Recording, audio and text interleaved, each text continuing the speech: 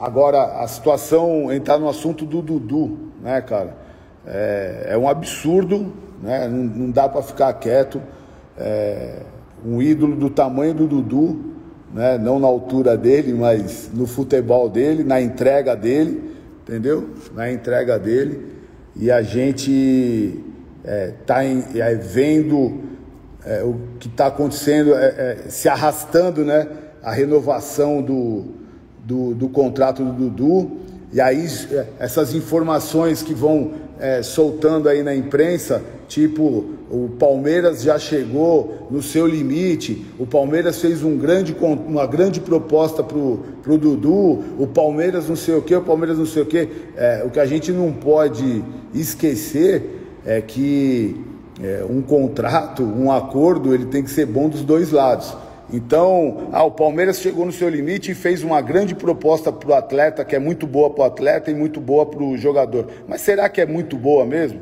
Será que o jogador está entendendo que é muito positiva mesmo, que é muito boa mesmo? Entendeu? Será que o, o jogador está entendendo que é a melhor proposta que o, que o clube poderia chegar para ele? E eu acho uma puta deslealdade, uma puta sacanagem jogar para a imprensa né, e jogar para a torcida a situação de que o clube fez o seu limite. Né? É, como é que você trata é, um grande ídolo do clube?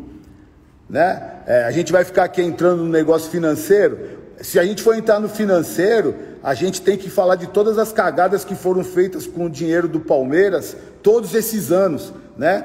Todos esses anos, de tantos e tantos presidentes incompetentes que passaram, e até os competentes que muita gente acha competente, que acha é, a, a, a, o Paulo Nobre competente, que acha a Leila competente, que acha o Mustafa competente, que acha a puta que pariu competente, você entendeu? E, e todas as cagadas que eles fizeram, todas as merdas que eles fizeram de contratações absurdas, como foi agora, né? Nessa gestão mesmo. É, Quantos jogadores estão salvos dessa gestão aí?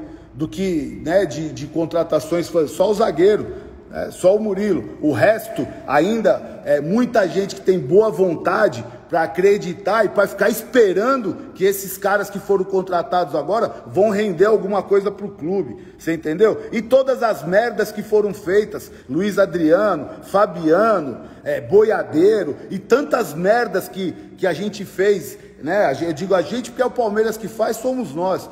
Tantas merdas que, que foram feitas com o dinheiro do clube, e agora na hora de renovar com um jogador como o Dudu, que é, antes dele sair, eu até é, enxergava o Dudu com algumas críticas por algumas atitudes dele. E o Dudu, da forma que voltou, ele voltou muito melhor do que ele era, até como ser humano, até como homem, o caralho. Então, assim, um cara que se entregou é, e, e que joga, que se doa, do jeito que o Dudu se doa dentro de campo, que é ídolo da criançada, que é ídolo da Sociedade Esportiva Palmeiras, ficar sendo tratado desse jeito e a gente ainda ter um ou outro palmeirense que questiona se vai pagar um milhão, dois milhões, três milhões, quatro milhões, oh, é, vocês têm é que dar meia hora de rabo, rapaz, sabe? Sem passar vaselina nenhuma, você entendeu? que é um cara que questiona o quanto a porra de um, de um, de um ídolo merece ganhar. Você entendeu? Não, não tem isso, mano. Tem que chegar pro cara e falar assim: qual é que é, mano? É isso aqui? Eu vou conseguir chegar nisso aqui, mas próximo do que a pessoa quer também.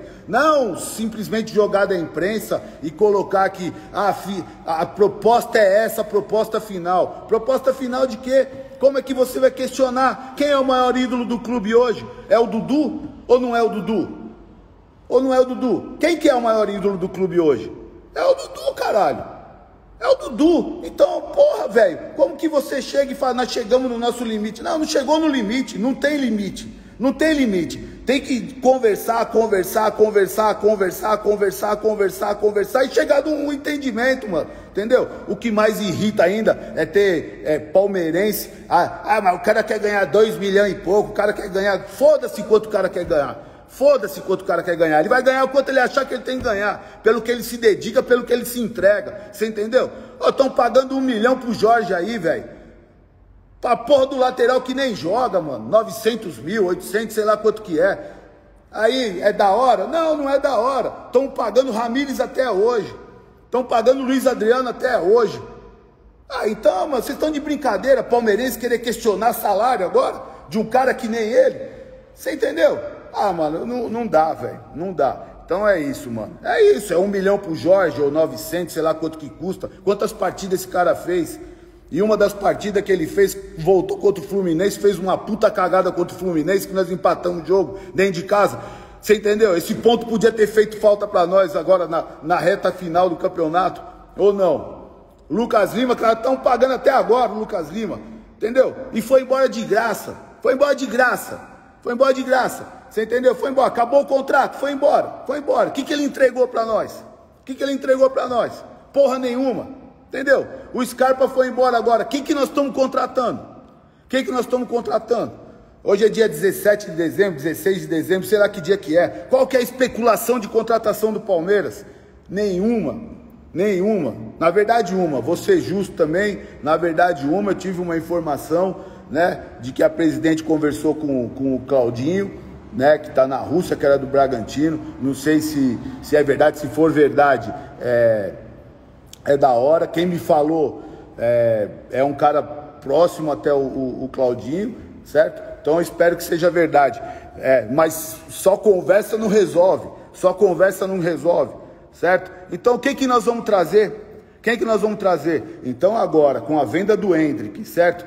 Que é, vai ter que ser titular para a gente atingir as outras metas do contrato. Então, ele tem que fazer não sei quantos jogos como titular para o Palmeiras receber uma outra parte. Provavelmente ele vai ser titular do Campeonato Paulista todinho. Da hora, legal, não tem problema nenhum. Quanto mais o moleque jogar, para a gente é melhor, né? Só que impressiona, impressiona é, é, segurarem o moleque, quando era para o moleque já estar tá jogando, não dá oportunidade antes do moleque. Aí foi dada oportunidade porque veio a situação do contrato, caramba, e é só ter um pouquinho mais de boa vontade de leitura para enxergar o que é que acontece. Então são 20 jogos do, do Hendrick para o Palmeiras receber mais um determinado valor, então ele vai, ele vai jogar os 20 jogos fáceis agora. Você entendeu? Vai ser fácil para ele poder entrar, né? Então, assim, é, ah, tem que subir da base? Tem que subir da base. Tem vários moleques que já podia até estar tá jogando. Tem vários que já podia até estar tá jogando, certo? Podia até estar tá jogando, mas a gente tem que ter gente pronta também. Tem que, ter, tem que parar com isso. Essa coisa, o Hendrick só jogou porque veio o lance do Real Madrid. Senão ele não tinha entrado nessa reta final aí também. Foi a pressão da torcida, o futebol que ele estava jogando e a situação do Real Madrid. Senão também não tinha entrado é porra nenhuma, certo? Então, assim, questionar o salário do, do Dudu, alguns palmeirenses questionando o salário de, de ídolo, é, questionando o salário de jogador, é, é, do nível do Dudu, querendo falar, pô, é, tá assim, tá assim. O salário do nosso treinador hoje é o maior salário do país, também ninguém fala nada, ninguém se incomodou que é, renovou antecipadamente. Por que, que agora, em relação ao Dudu, tem palmeirense se incomodando? O Dudu não é ídolo, o Dudu não joga, o Dudu não, não faz gol, o Dudu não se dedica. Caralho, velho, o cara jogou todos os jogos do Campeonato Brasileiro, entendeu? Todos os jogos do Campeonato Brasileiro. Aí vai questionar o quanto o cara quer ganhar. É lógico, mano, tudo é uma negociação. A única coisa que me parece muito estranha é a presidente vir a público e falar que já chegou no limite, que já fez a proposta. Para que fazer isso? Para quê? Para que jogar essa pressão toda em cima do atleta? Para que jogar isso aí tudo em cima do jogador? Qual que é o motivo disso? Qual que é o motivo de ficar esticando a corda? Qual que é o motivo de esticar a corda? Querer que o cara saia fora? É isso? Querer que o cara se sinta constrangido, certo? De que se o cara de repente está se valorizando, E é o, é o, normal disso de um profissional, você entendeu? Ruim é se o Merentiel quisesse receber mais, se o Flaco quisesse receber mais, mas olha o que gastou nesses jogadores todos aí, ó. Olha o que gastou nesses caras todos que trouxeram, certo? Navarro, aí tem a parte da torcida do Palmeiras que ainda está acreditando que um dia o Navarro vai explodir, entendeu? É, cara, o cara quando joga bola, joga bola, é igual o Hendrick. Joga bola, joga bola, amigão. Joga que nem o Jonathan, joga bola, joga bola. Todo mundo vê, que nem o Fabinho, joga bola, joga bola. Agora os caras vão ficar dois anos no Palmeiras ganhando 500, 600 pau, entendeu? Morando em apartamento de luxo, caralho, e uma parte da torcida do Palmeiras acreditando e rezando, entendeu? Para que os caras aconteçam, joga bola. Ô, dá licença, né, tio? Dá licença, né? Entendeu? Então, assim, é, eu, eu não estou entendendo o porquê essa, essa, essa exposição, certo? Essa exposição em relação ao Dudu, né? Ah, de que ah, o, o chegamos no limite com o Dudu, é um grande contrato para o atleta e para o clube, o caralho. Ué, mas será que é para o atleta mesmo?